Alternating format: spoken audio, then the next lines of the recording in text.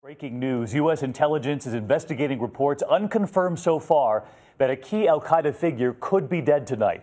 The man in question is Mokhtar Belmokhtar. He grew up in Algeria, went on to Afghanistan and Pakistan to wage jihad, then returning home to do the same. He is the Al Qaeda leader who took credit for that terrifying hostage ordeal, the takeover of a gas plant in Algeria just this year.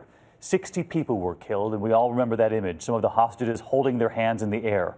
When it was over, Belmokhtar had slipped away.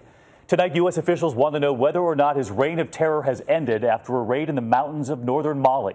This is fast moving, and we lead off here with ABC's chief investigative correspondent, Brian Ross. He was known as the Marlboro Man because of the millions of dollars he made smuggling cigarettes across the Sahara. But in the last few months, the one-eyed Mokhtar Belmokhtar had become one of the most sought-after terrorists in the world. It was Belmokhtar who authorities say was the mastermind of the attack this January on an Algerian natural gas plant that left dozens of Westerners and at least three Americans dead. Belmokhtar had formed his own Al-Qaeda splinter group and announced he would use his wealth to finance more attacks against American and Western interests in the region and beyond. The U.S. badly wanted Belmokhtar stopped and actively helped in the search by French and African military units to find him and another top Al Qaeda leader who was reported killed yesterday.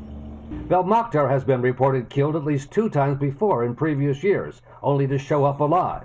But if today's reports of his death from the Chad military are confirmed, it would be a significant victory against Al Qaeda in a part of the world where the terror group has been growing in power and menace. Brian Ross, ABC News.